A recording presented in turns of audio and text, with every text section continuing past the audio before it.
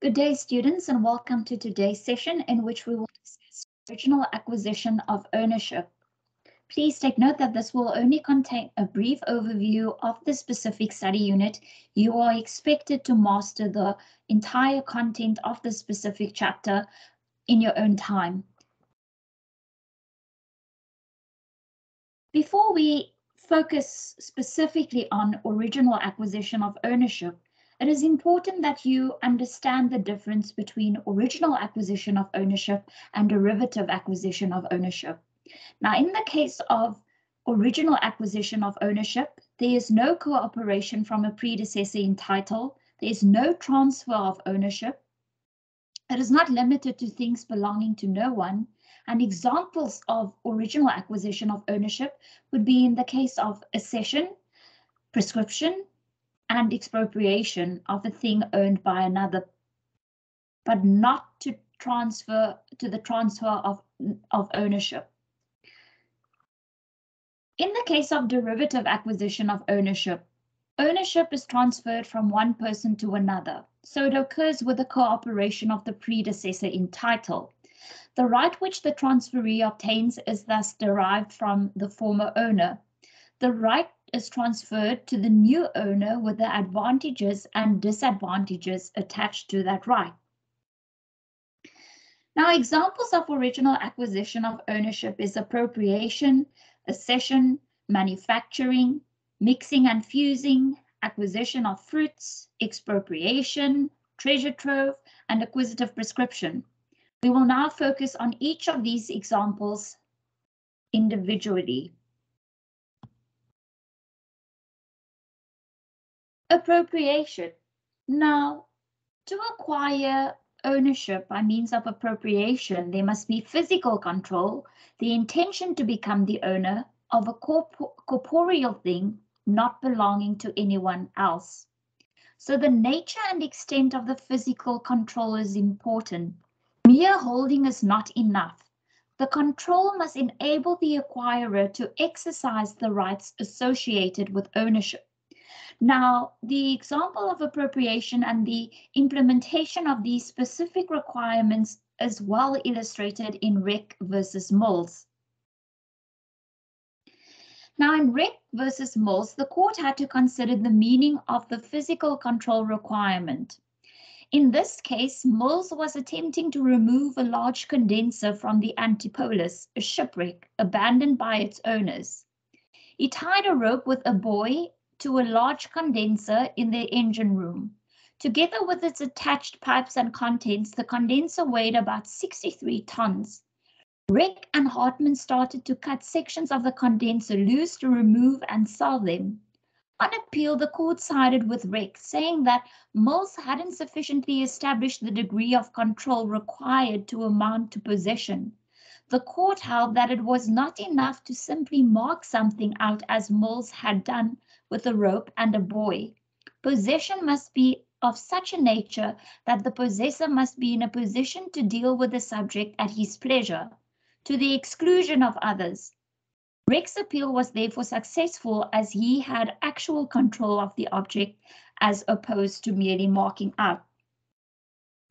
So as a result of this, you can see the importance that mere holding is not enough the control must enable the acquirer to exercise the rights associated with ownership as illustrated in Reck versus Mills. Now, another example of original acquisition of ownership is accession.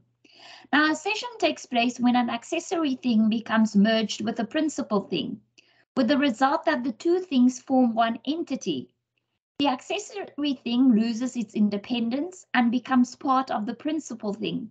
The owner of the principal thing is thus the owner of the composite thing. Now let's have a look at accession of movables to movables. This occurs when where an accessory movable becomes attached to a principal movable in such a way that a single entity is formed and the ownership of the principal thing extends over the accessory thing which has lost its independence. Examples of this would be a painting. the painter becomes the owner of the canvas belonging to someone else that he painted on, provided that the painting is more valuable than the canvas. If a person writes on someone else's paper, the writer is the owner of the written piece. The owner of the paper must be compensated for the paper. Now let's have a look at accession of movables to immovables. Now what is important to take note here is the maxim superficie solo cedit. It stipulates that anything that is attached to the land accedes to the land. This may take place either by means of planting and sowing or by building. In the case of planting and sowing, Accession occurs when the plants or the seeds take root and start to draw nourishment. The owner of the soil will then be the owner of the plants. In the case of a building, if a movable thing becomes attached to land in such a manner that it loses its independence and forms a new entity with the land, the composite thing belongs to the owner of the land. Now, there are three requirements that has been formulated by courts to ascertain whether accession has taken place. And the three requirements are, you have to look at the nature and purpose of the attached thing. Secondly, you must look at the manner and degree of the attachment. Thirdly, you must have a look at the intention of the person annexing it.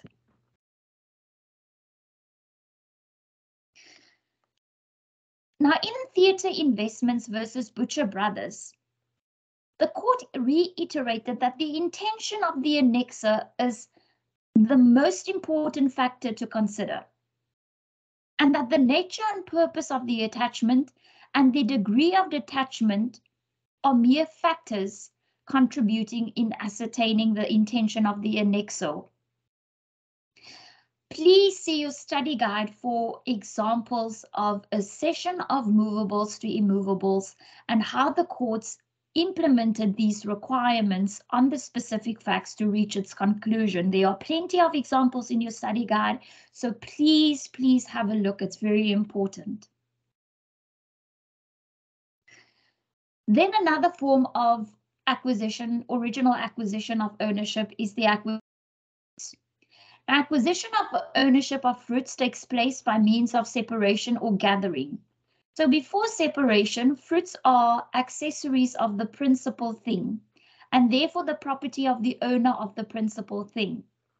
Upon separation, fruits become independent things, which as such can form the objects of ownership and become susceptible to acquisition of ownership.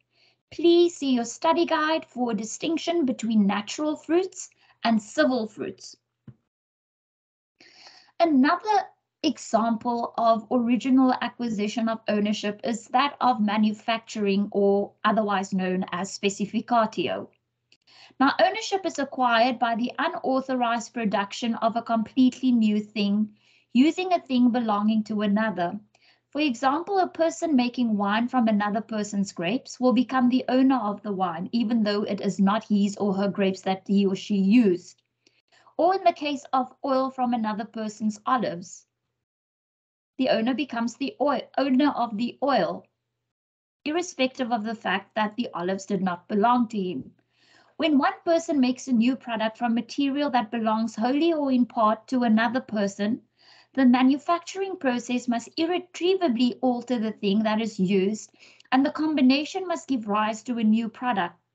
The material used in the manufacturing process must not belong to the maker, as we've seen in the example that I've mentioned earlier. And there must be no agreement governing the use of the materials. In this case, the owner of the material would have a claim of compensation against the owner of the new thing that was created for the value of the material, but not for the thing that was created. So in the case of, if you have a look at the case of an individual who made wine with someone else's grapes, the individual whose grapes it is may institute a claim for compensation against the owner of the new thing, in other words, the owner of the wine. And the owner of the materials, the owner of the grapes can thus claim compensation for the value of the material, but not for the thing that was created. In other words, not for the wine that was created, but only for the grapes that was used. However, if the new thing can be restored to its original form, then ownership vests in the owner of the material. Another example of original acquisition of ownership is that of confusio ex commixtio, also known as mingling and mixing. So it is where movable, thing, where movable things belonging to different persons are mixed together without the consent of the owners and in such a way that the movables cannot be separated to its previous state or the parts fully identified. The mixture becomes the joint property of the former owners in proportion to the value of the things included in the mixture. So an example of mingling and mixing would be the mixing of grain or the mixing of feathers or the mixing together of liquid materials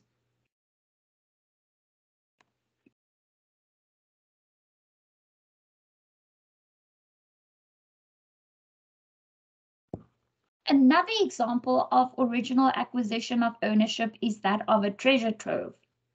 Now, where there is hidden treasure that is valuable, movable, corporeal things, if it's hidden for so long that it is impossible to determine ownership, the hidden treasure is acquired either by the landowner or and by the accidental finder together. The landowner and the accidental finder will become owners of the treasures in half shares. Physical control by the finder is required, but not by the owner of the land. Another example of another example of original acquisition of ownership is that of expropriation. So where the state acquires expropriation is where the state acquires of a movable or immovable thing without the consent of the owner against payment of compensation. Section 25 of the Constitution addresses land reform and it lays down regulations and procedures addressing when and how land may be expropriated by the state. So a valid expropriation would be if it is non-arbitrary, if it is in the in terms of the law of general application, if it is for a public purpose or in the public interest, and it must be against compensation. Another form of original acquisition of ownership is that of acquisitive prescription. So this will be where a person who controls a thing openly and as if he or she were the owner for an uninterrupted continuous period of 30 years becomes its owner. So if you have acquired land and you have controlled the land openly as if you were the owner for an uninterrupted continuous period of 30 years, you will have acquired original acquisition of ownership. So after completion of the prescription period, and if all the requirements of prescription are met, the possessor will become the owner of the thing. Now there are two different acts regarding the regarding acquisitive prescription. The first one is the Prescription Act of 1969, and it applies to prescriptive periods beginning at beginning on the 1st of December 1970. And prior to that, there is the Prescription Act of 1943. I've highlighted the differences between the two acts in this column. As you can see, under the Prescription Act of 1943, acquisitive prescription is the acquisition of ownership by the possession of another person's movable or immovable property continuously for 30 years, nec vi, nec clam, and nec precario. Whereas in terms of the Prescription Act of 1969, a person shall by prescription become the owner of a thing which he has possessed openly and as if he were the owner thereof for an uninterrupted period of 30 years or for a period which together with any periods for which such thing was so possessed by his predecessors in title constitutes an uninterrupted period of 30 years. Now, prescription can be interrupted. Now, in the case of interruption, the period of prescription which has already run is terminated. And the period of prescription must begin to run anew. Now, interruption can occur in two forms, natural interruption or judicial interruption. Now, natural interruption is where prescription has been terminated as a result of voluntary loss of possession. If the possessor waits too long before taking legal steps to regain his or her possession, or if the situation involving an act of God prevents the possessor from regaining possession within 12 months.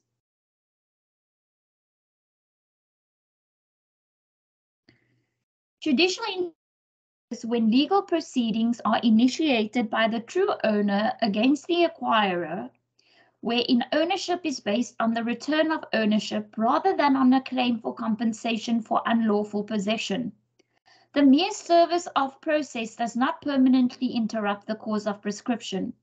Interruption of prescription occurs only if the person who lays claim to ownership succeeds in carrying his or her claim to the final judgment.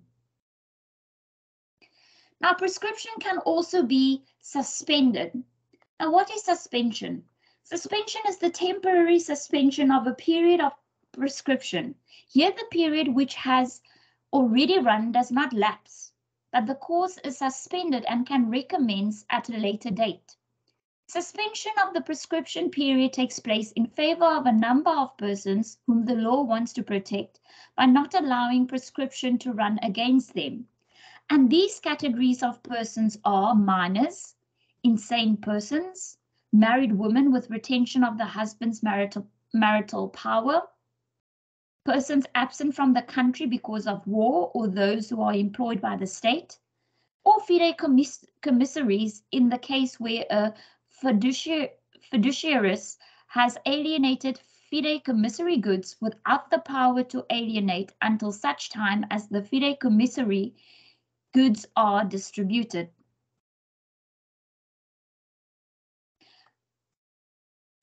Information on the method of calculation in the case of suspension, please consult your textbook, your study guide, and this concludes today's session.